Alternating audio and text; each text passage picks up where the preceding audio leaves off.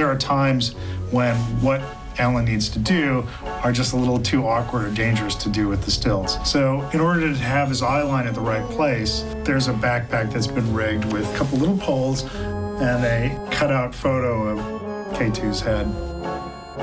If, if there's ever a time where I have to put that thing on, oh God, no. Here it comes. It's so awful.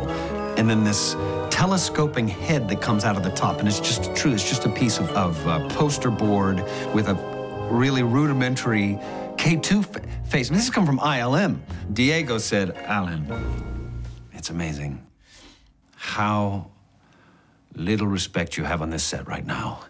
Because there's no way to respect this, you know? It's like if we were just witnessing the first science fiction film done in...